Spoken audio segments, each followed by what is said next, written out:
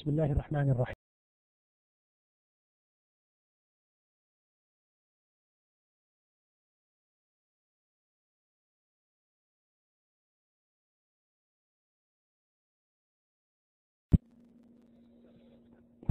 بسم الله الرحمن الرحيم. الحمد لله رب العالمين والصلاة والسلام على نبينا محمد وعلى آله وصحبه أجمعين. أما بعد هذا الصوت الآن مسموع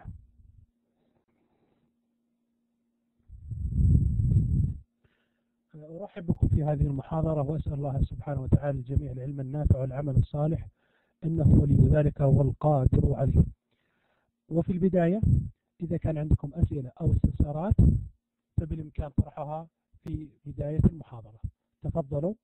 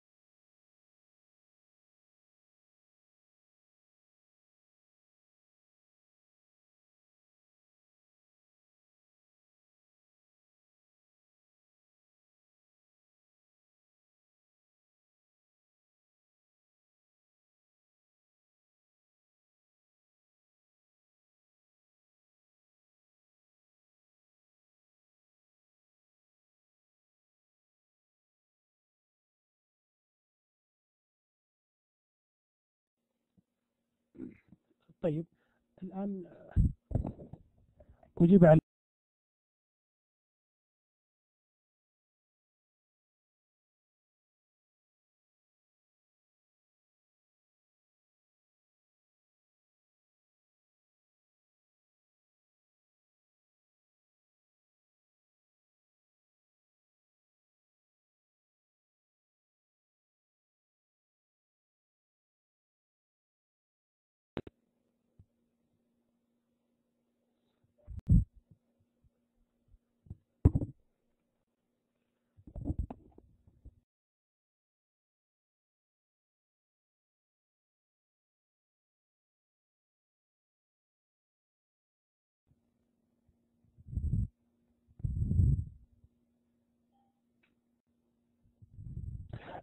أوقفت المحادثة العامة.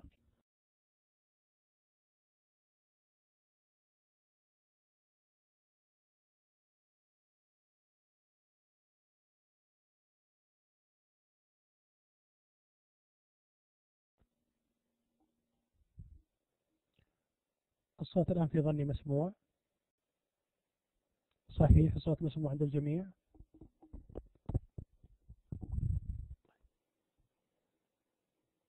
إذا سأوقف الآن المحادثة العامة حتى أجيب عن الأسئلة التي مرت.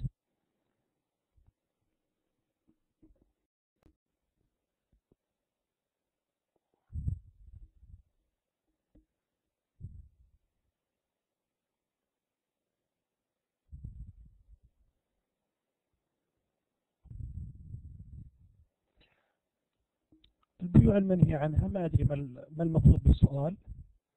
الفرق بين العينة والتورق العين بين طرفين والتورق بين ثلاثة أطراف.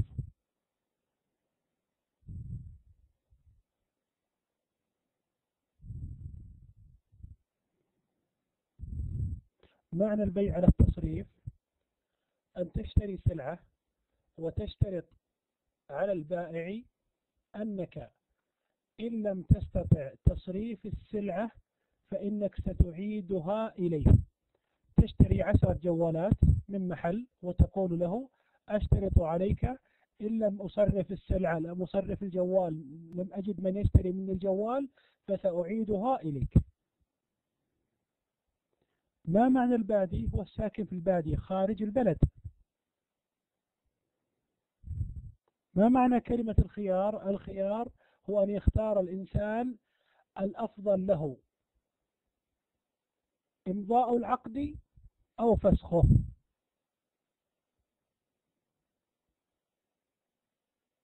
الاحتكار أن تحتكر السلعة لا توجد السلعة إلا عندك. الحكمة من نهي بيع الطعام قبل قبضه. لا يصح. لماذا؟ لأنه لا يجوز بيعه إلا إذا قبضته إذا نقلته إلى لك إلى حيزك إلى مكانك إلى مستودعك حتى تكون استلمته بشكل كامل.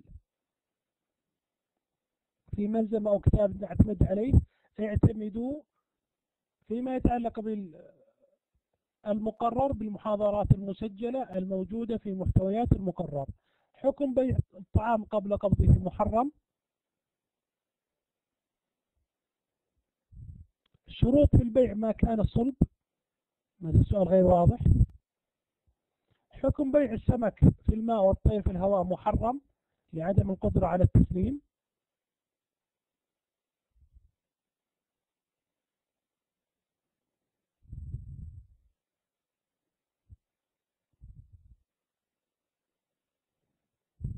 الآن سأفتح المحادثة العامة. إذا كان عندكم أسئلة أو استفسارات فتفضلوا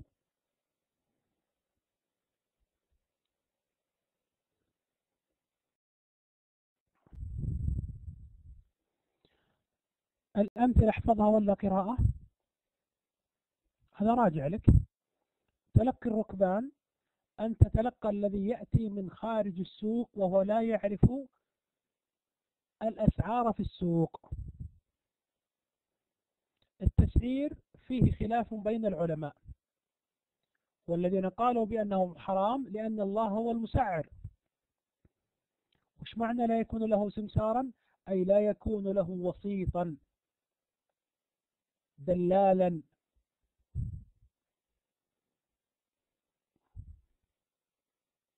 ما هو المكس؟ ما أدري. ورد في أي محاضرة؟ لأن المكوس تطلق على الضرائب. النجش هو الزيادة في سعر السلعة ممن لا يريد شراءها. هل نأخذ التعريف منك أو من نفس المحاضرة المسجلة؟ من نفس المحاضرة المسجلة. خيار الغبن أن يغبنك أحد فيبيعك السلعة بألف ريال وهي لا تسوى مئة ريال. ما هي الشروط الصحيحة في البيع؟ هي الشروط التي لا تخالف مقتضى العقد ولم ينهى عنها الشارع.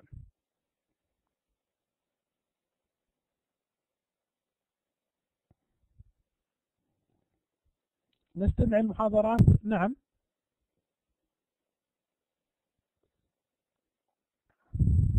نعم هي المرجع.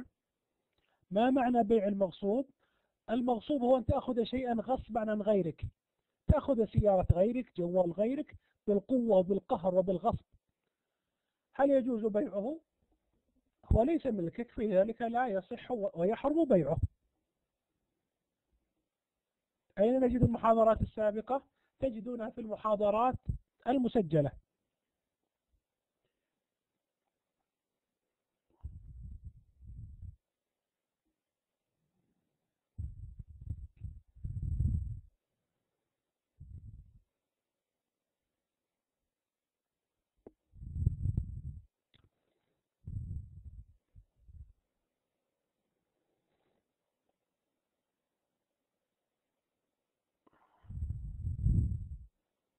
طبعا هذه المحاضرة الثالثة والمفترض أن يكون الجميع استمع لما جاء في المحاضرة الرابعة والخامسة والسادسة. ولعل إن شاء الله تعالى نتناقش فيها بعد قليل لكن حتى أجيب عن الأسئلة والآن سأقفل المحادثة العامة حتى أجيب عن الأسئلة السابقة. اشتراها بعرض من العروض ماذا يقصد بذلك؟ يعني سيارة مقابل فلة. سيارة مقابل عشرة أجهزة كمبيوتر ونحو ذلك.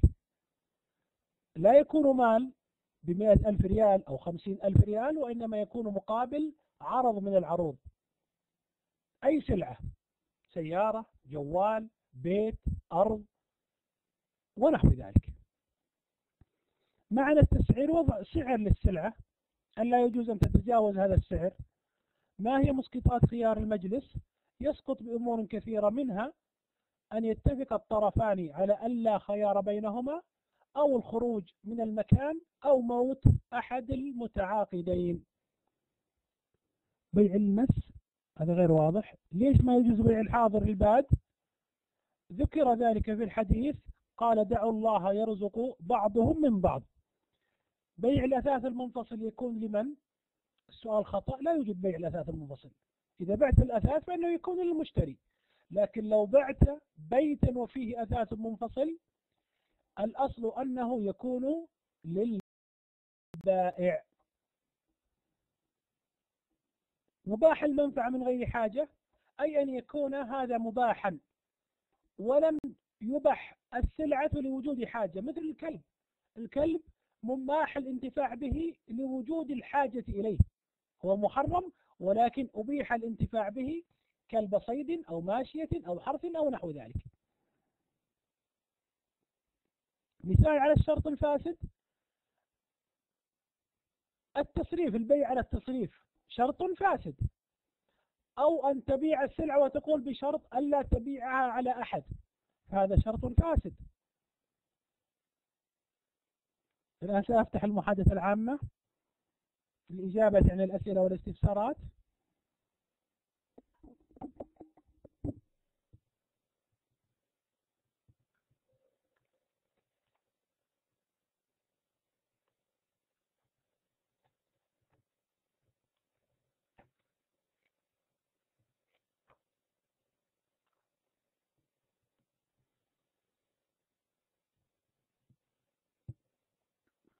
حكم التورق المنظم إذا كان التنظيم فيه صوريا فهو محرم.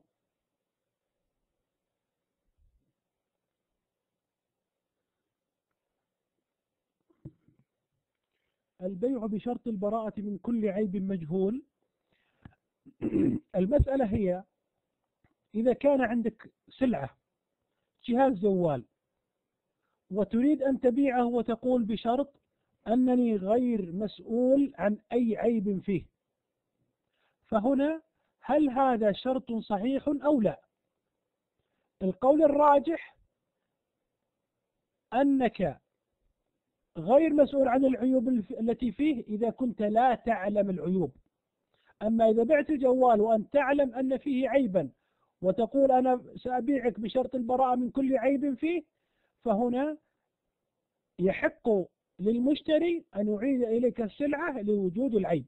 لكن لو كنت لا تعلم بالعيب فهذا شرط صحيح.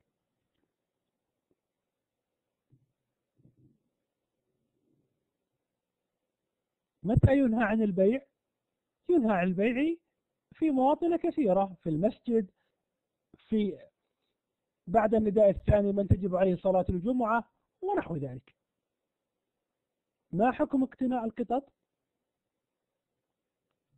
جائز وإنما الذي ذكر هو شراؤها.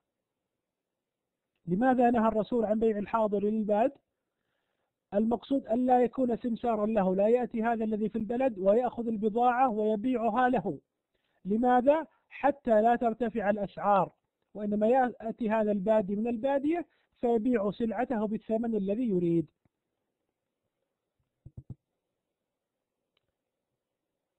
ما حكم البضاعة المباعة لا ترد ولا تستبدل؟ عبارة غير صحيحة. العين أن يشتري السلعة بثمن مؤجل ثم يبيعها على على من اشتراها بثمن مؤجل؟ لا. العينة هو أن تبيع سلعة بثمن مؤجل ثم تشتريها منه بثمن حال أقل من الثمن المؤجل. ابدأ المحاضرة نحن بدأناها في وقتها ولله الحمد. وأهم شيء في المحاضرة هو الإجابة عن الأسئلة والاستفسارات. هذا هو المقصد من المحاضرة. حكم بيع الطعام قبل قبضه محرم.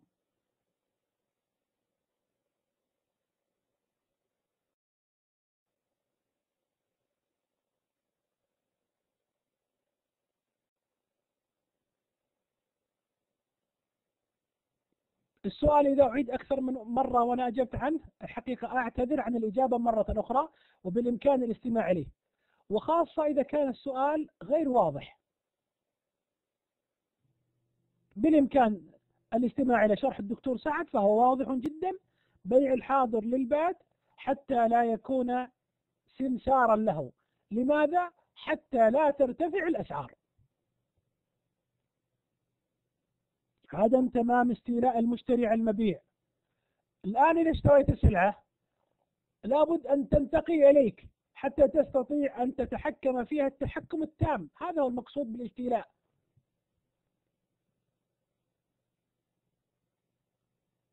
التورق المنظم إذا كان صوريا فهو محرم. ما حكم بيع العربون جائز.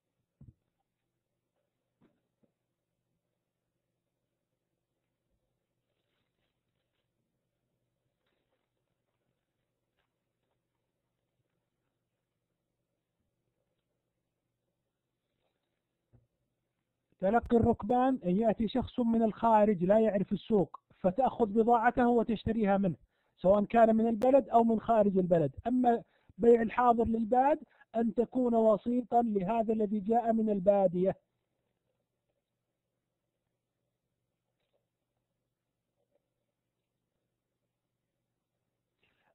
التعريف المطلوب هو ما ذكره الدكتور سعد في محاضراته. أما لما أذكره فهو للبيان والشرح والتفصيل. هل يصح البيع من السفيه والصغير بإذن وليه؟ نعم. صلب العقد هل هو رفض العقد؟ لا. صلب العقد هو مثل العقد أما رفض العقد فهو منعه ورفضه. ما معنى السلم؟ السلم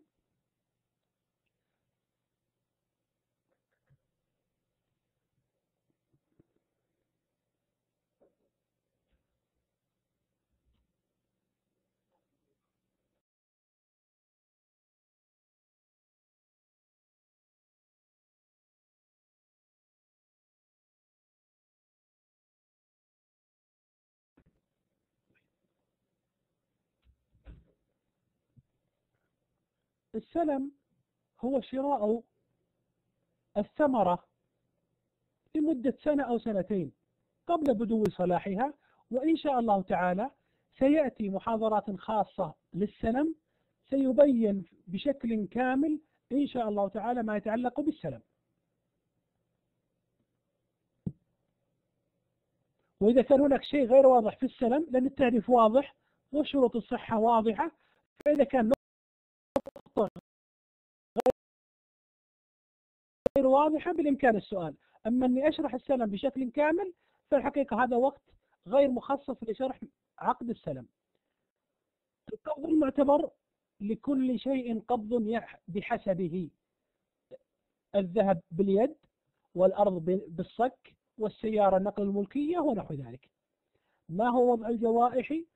إذا حصلت جائحة على ثمرة مثلا شخص اشترى مزرعة فاحترقت هذه المزرعة. هذه تسمى جائحة.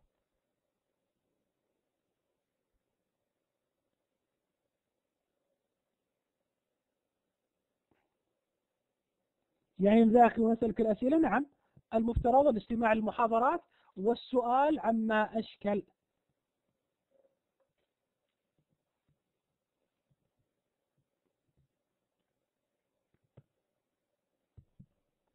متى يدخل التورق في دائرة الحظر؟ السؤال غير واضح.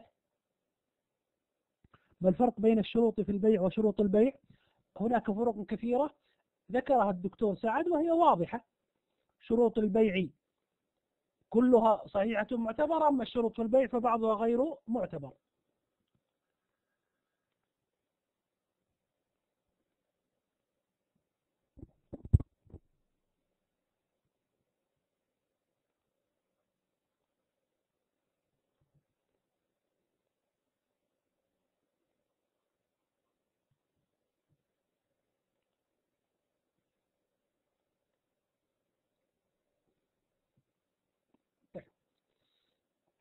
الإشكال الآن الأسئلة تكررت والذي لم يستمع إلى الإجابة بشكل صحيح هذه المحاضرة مسجلة بالإمكان الاستماع إليها في وقتها إذا سجلت وتجد الجواب إن شاء الله تعالى.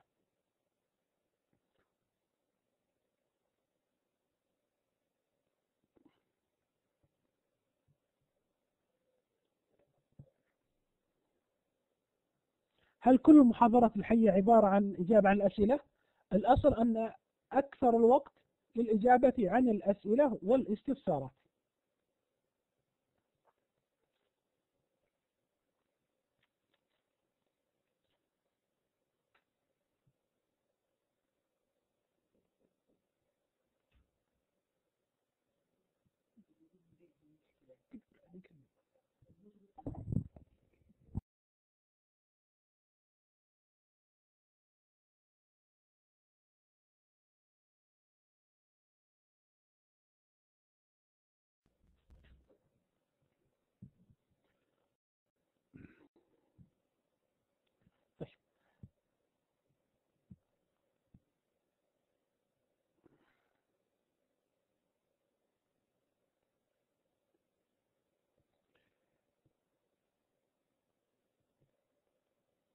الآن سأوقف المحادثة العامة وأتحدث عن بعض المسائل التي جاءت في المحاضرة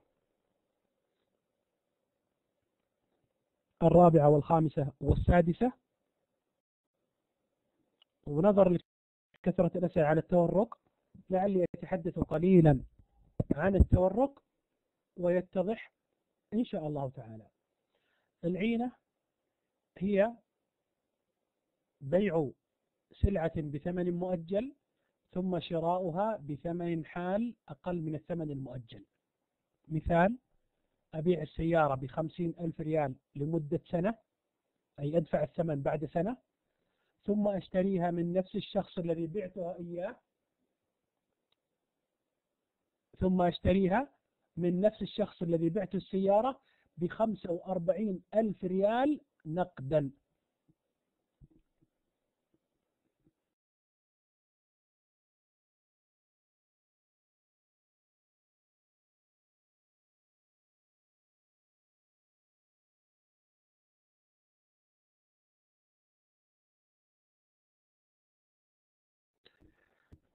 إذا هذه العينة. أما التورق فهو شراء شراء سلعة بثمن مؤجل ثم أبيعها على طرف ثالث بثمن حال أقل من الثمن المؤجل. أبيعها على طرف ثالث. الفرق بين التورق وبين العينة أن العينة طرفين أما التورق ثلاثة أطراف. العينة فيها تحايل على الربا أما التورق فلا تحايل فيه على الربا.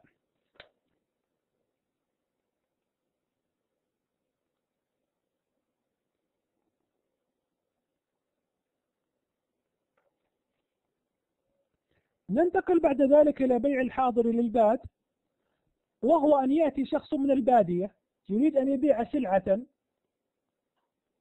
ويأتي أهل البلد أحد من أهل البلد ويقول أنا سأكون وسيطا لك سمسارا لك سأخذ بضاعك وسأبيعها في السوق وأعطيك الثمن الذي بعت به البضاعة مقابل مبلغ معين. هنا جاء النهي عنه. لماذا؟ لأن النبي صلى الله عليه وسلم قال دعوا الناس يرزق الله بعضهم من بعض. أن يدخل هذا البادي الذي جاء من خارج المدينة ليبيع سلعته بربحه الذي يريده ويحصل هناك نزول للأسعار لكثرة العرض. تلقي الركبان المقصود به أن يستقبل الناس الذين يشترون أو يبيعون الناس خارج البلد أو خارج السوق ويقولون نشتري منكم أو نبيعكم كذا. ولا يدخلون هؤلاء السوق. جاء النهي عن تلقي الركبان لأن الراكب الذي يأتي من الخارج قد لا يعرف السعر فقد يخدع. ولذلك جاء النهي عن تلقي الركبان. المحاضرة الخامسة الآن.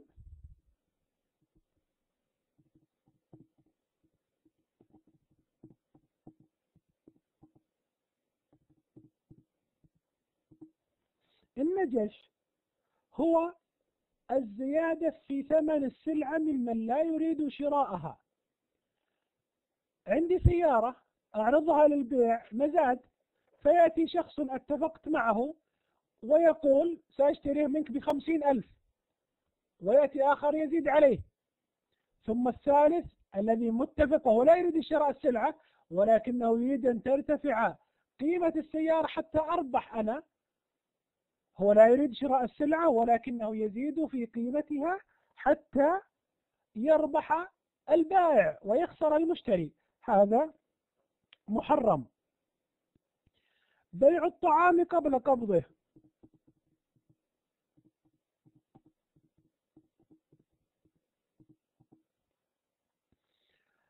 يحرم بيع الطعام قبل قبضه. أي لا يجوز إذا اشتريت طعاما شيئا مأكولا أن تبيعه حتى تقبضه وتنقله إلى ملكك ثم تبيعه.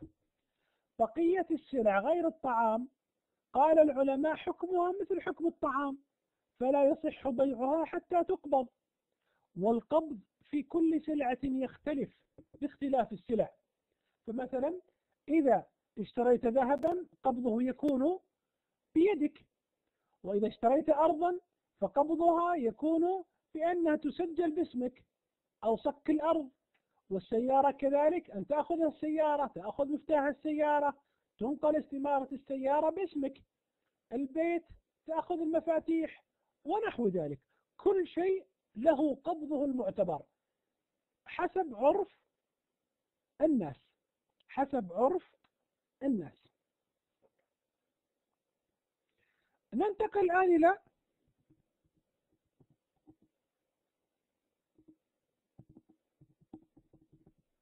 الشروط في البيع.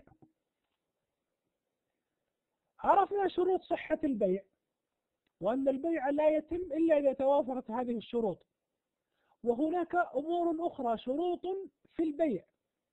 اشتريت سلعة واشترطت على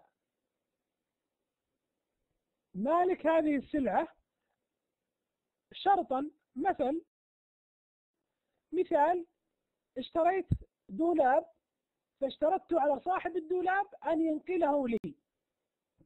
بعت سيارة فاشترطت على المشتري أن أستخدم هذه السيارة لمدة أسبوع ونحو ذلك.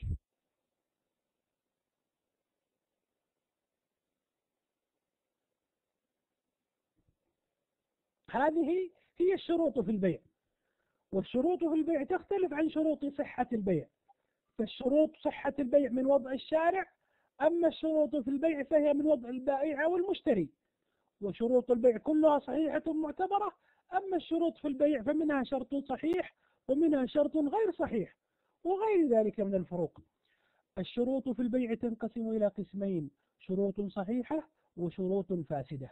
الشروط الصحيحة التي لا تخالف مقتضى العقد ولم ينهى الشارع عنها مثل أن تشتري سلعة وتشترط نقلها تركيبها أو أن يكون الثمن على أقساط أو تشتري بيتا ويشترط صاحب البيت البائع أن يسكن فيه مدة شهر سيارة وتشترط أن يستخدمها لمدة أسبوع ونحو ذلك.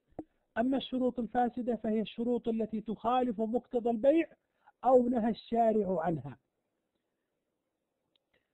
والشروط الفاسدة على قسمين شرط فاسد يفسد العقد وشرط فاسد لا يفسد العقد. العقد صحيح والشرط فاسد.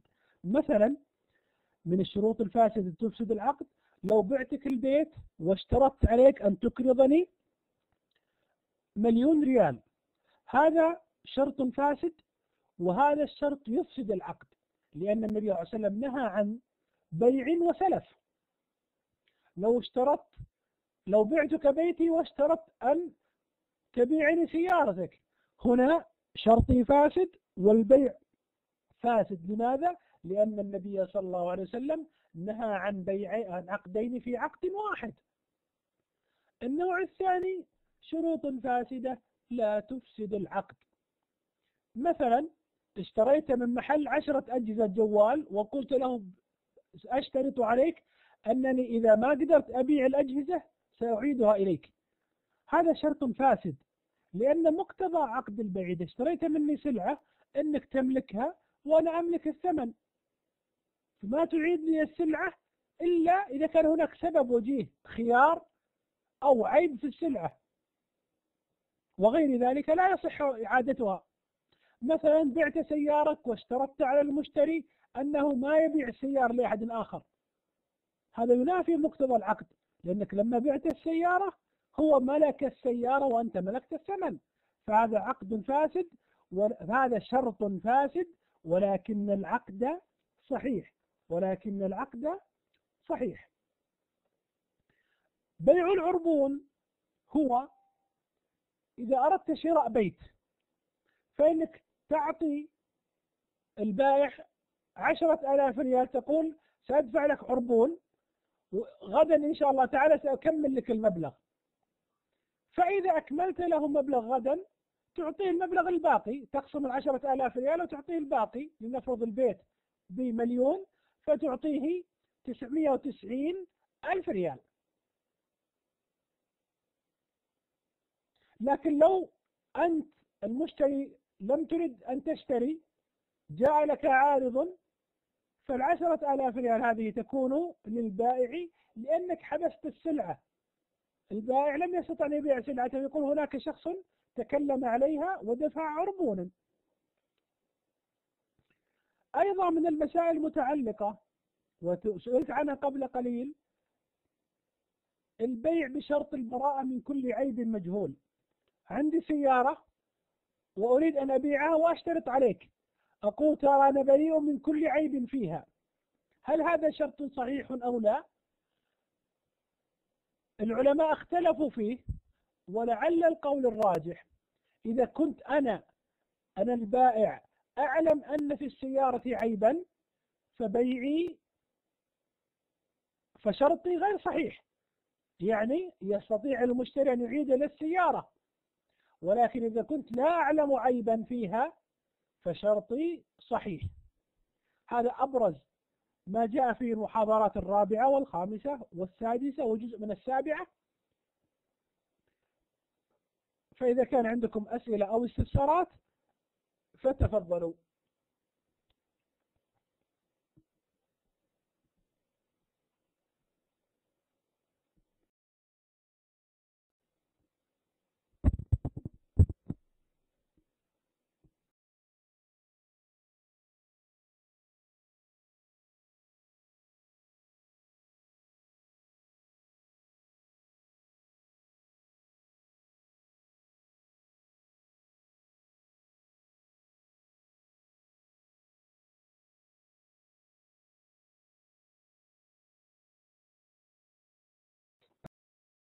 لك المحادثة العامة.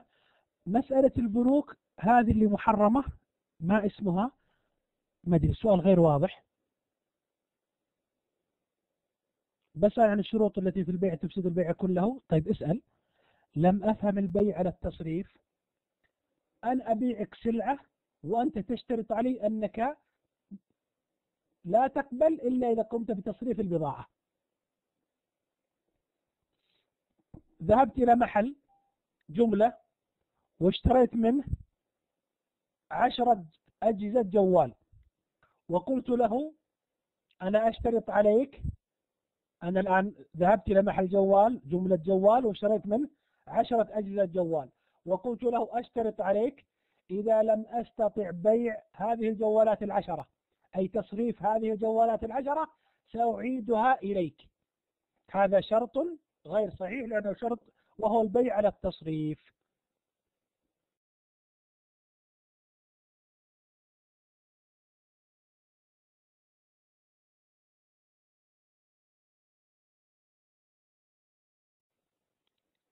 المحادثة الآن عامة مفتوحة فإذا كان عندكم أسئلة تفضلوا.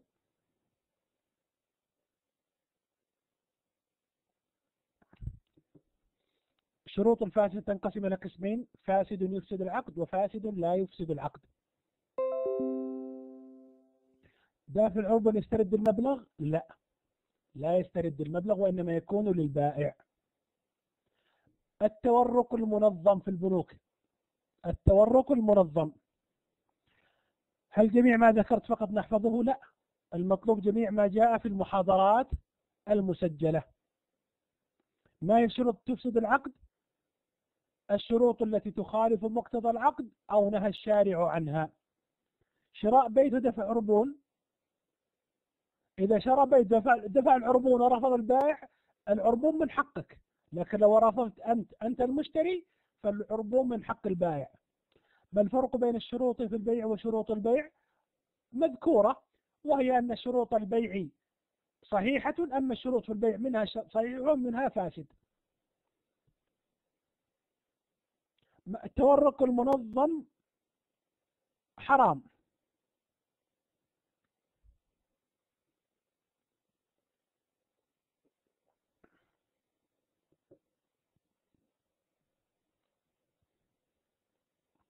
الأسبوع القادم إن شاء الله تعالى نأخذ أحكام الخيار.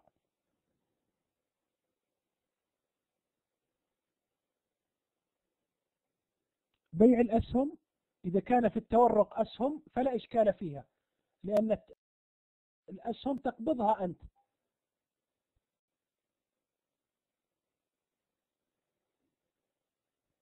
التورق غير منظم اللي ما يكون عن طريق التنظيم الكامل إنك ما تدري عن البيع والشراء ولا القبض.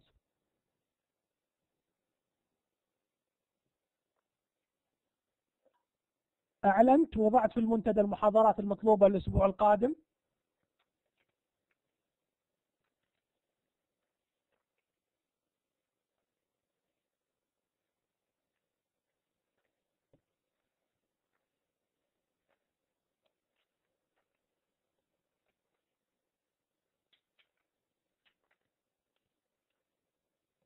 الخيار وبيع الأصول والثمار.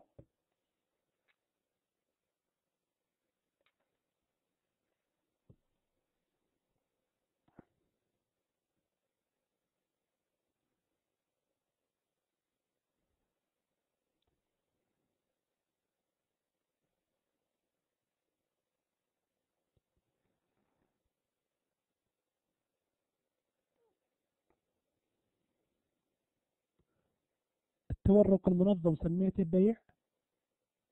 تورق منظم.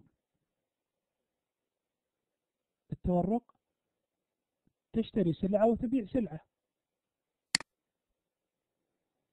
يعني كل لقاء حي ثلاث محاضرات يختلف حسب الموضوعات.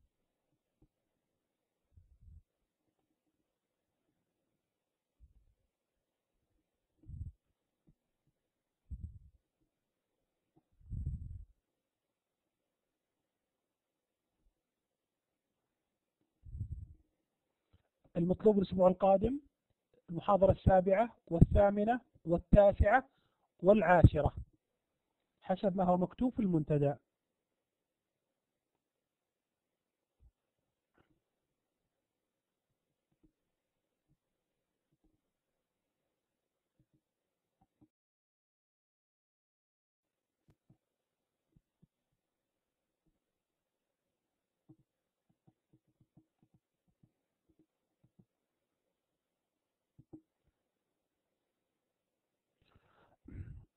الأمثلة كثير.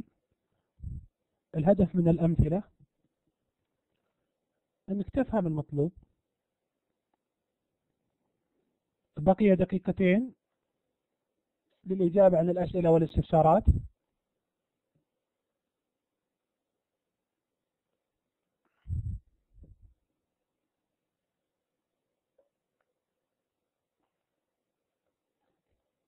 المحاضرات المطلوبة ارجعوا للمنتدى.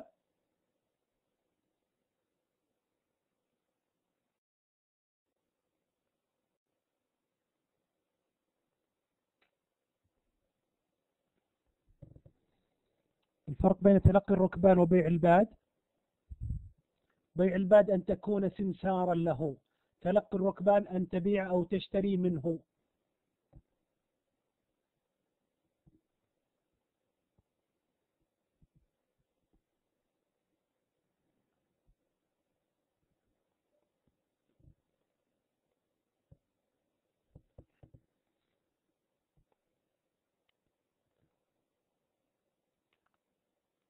ممكن ترد علينا في المنتدى جميع الأسئلة اللي وجدتها اليوم في المنتدى رديت عليها.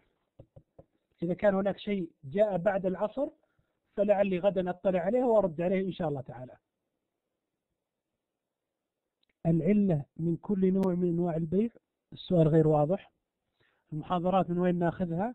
تجدها في مصادر المقرر أو محتويات المقرر.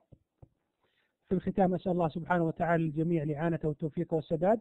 يسر الله أمركم ووفقكم لكل خير والسلام عليكم ورحمة الله تعالى وبركاته.